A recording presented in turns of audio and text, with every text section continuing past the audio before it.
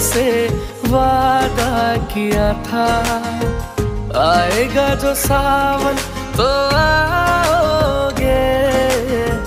आजा मेरे माही